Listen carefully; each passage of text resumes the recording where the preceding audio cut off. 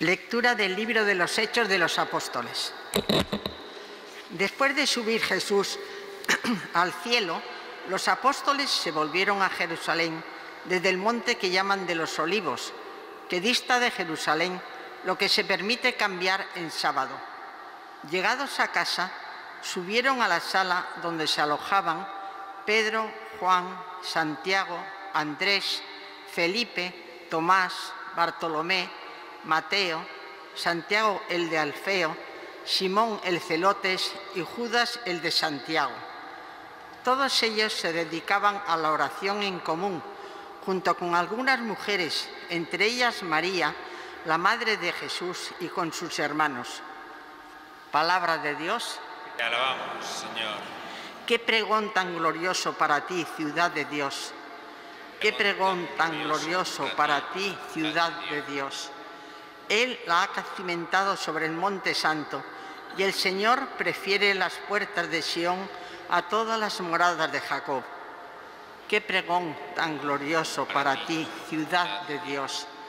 Qué pregón tan glorioso para ti, ciudad de Dios. Se dirá de Sión, uno por uno, todos han nacido en ella. El Altísimo en persona la ha fundado. Qué pregón tan glorioso para ti, ciudad de Dios. El Señor escribirá en el registro de los pueblos, Este ha nacido allí, y cantará mientras danzan, todas mis fuentes están en ti. Qué pregón tan glorioso para ti, ciudad de Dios. Aleluya, aleluya, aleluya.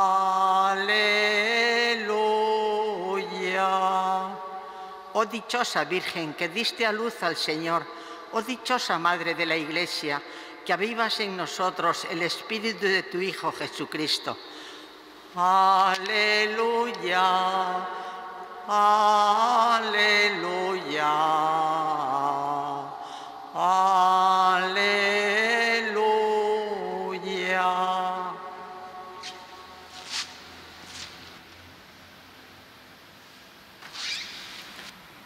El Señor esté con vosotros. Lectura del Santo Evangelio según San Juan.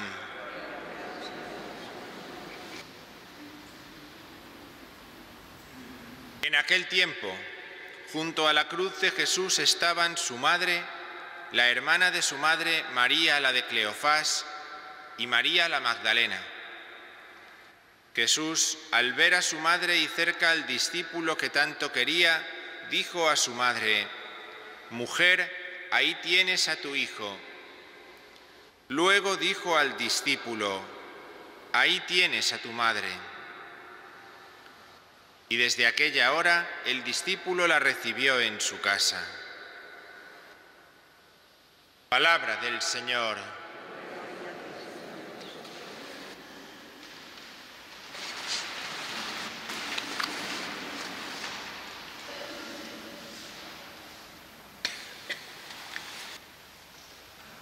Tras la solemnidad de Pentecostés, como decíamos al principio, la Iglesia nos ofrece una oportunidad en este día de mirar la consecuencia que ha tenido el don del Espíritu Santo que ha sido derramado sobre los discípulos en aquel cenáculo en el que estaban encerrados.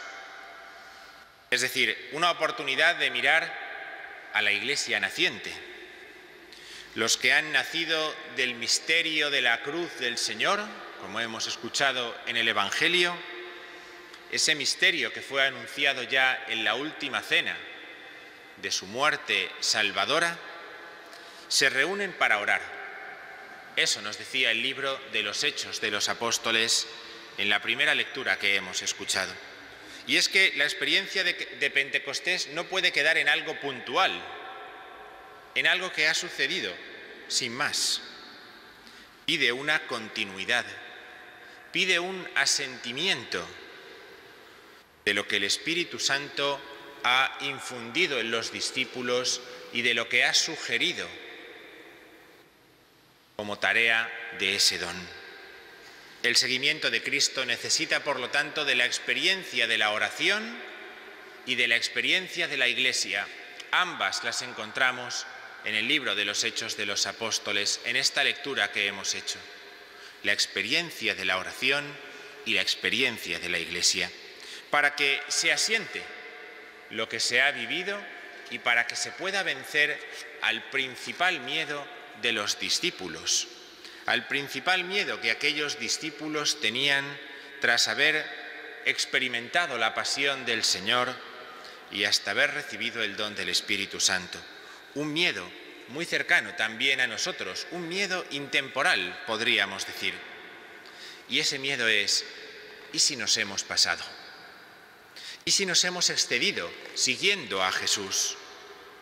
Igual hemos sido muy radicales siguiendo a Jesús y se puede creer en Él sin complicarnos tanto la vida, que ahora nos persiguen o se burlan de nosotros o experimentamos que estamos solos, sin seguridades ni apoyos. ¿Y si al final, por creer en Jesús, mi vida va a ser menos mía? ¿Y si va a ser menos vida? No podríamos seguir a Jesús sin que esto afecte a nuestras relaciones, sin que afecte a nuestra familia, sin que afecte a cómo gestionamos nuestro dinero o a lo que nosotros entendemos que debe ser la política o la moral. ¿No sería mejor dejar de lado todo lo que es polémico y ser como todos? Pero, ¿qué es lo que hace el Espíritu Santo con los discípulos en el Evangelio que escuchábamos ayer y en la primera lectura que hemos escuchado hoy. Ayer los discípulos eran lanzados en medio de partos, medos, elamitas, los que venían del Ponto, los que venían de Asia. Y hoy nos hemos encontrado en el Salmo responsorial con otra enumeración similar, filisteos, tirios, etíopes, todos han nacido en Sión, han nacido en Jerusalén. Los discípulos de Jesús entienden que ser cristiano es ser levadura en medio de la masa. Que creer en Jesús no se esconde, no se disimula, sino que pide ser fermento en medio de filisteos, tirios, etíopes, partos, medos, elamitas y todos los grupos que nosotros queramos poner de nuestra sociedad actual.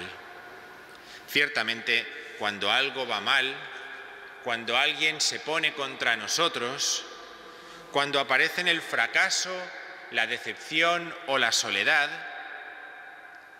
igual que le sucede a los discípulos tras la muerte del Señor, podemos tener la tentación de huir, de renunciar, de dimitir, de plegar velas, de bajar un poco el listón de nuestra fe. Pero el Espíritu Santo es el que ayuda a creer y a perseverar, a asentar, que decíamos al principio, la experiencia de la Pascua. En definitiva, el Espíritu Santo es el que hace dar el paso de admirar a Jesús, a querer configurarse con Él en su muerte y resurrección. El Espíritu Santo es el que hace que demos el paso de la tibieza a la santidad. ¿Quién no ha tenido la tentación de quitarse de líos como lo piensan los discípulos? ¿Quién no ha tenido la tentación de no decir lo que pensamos en algún momento para evitar un problema.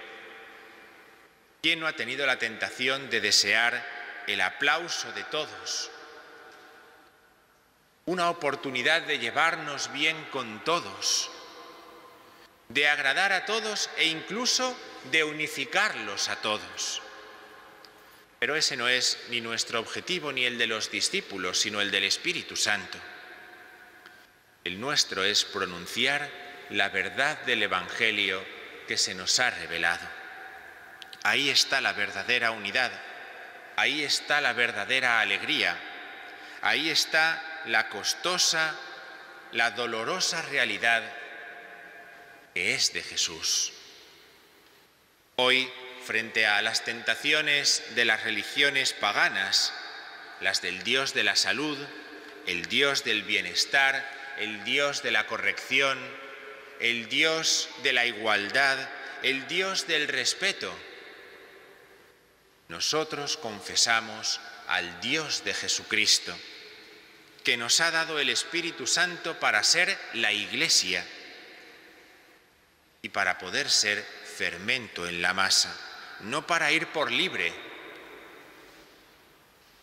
pensando que así nos va a ir mejor, no para intentar ser más, sino para intentar cumplir con la verdad del Evangelio. Oremos en estos días, después de Pentecostés, por la fidelidad de la Iglesia, para que Dios envíe su luz desde el cielo, como cantábamos ayer, y nosotros colaboremos en la transformación de esta tierra.